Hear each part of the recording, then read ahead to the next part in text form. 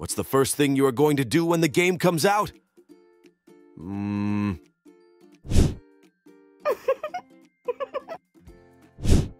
Have you heard that you will be able to play a demo? What's the first thing you are going to do in that demo? Hmm.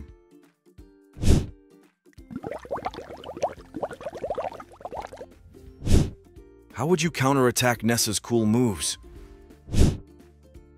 Hmm.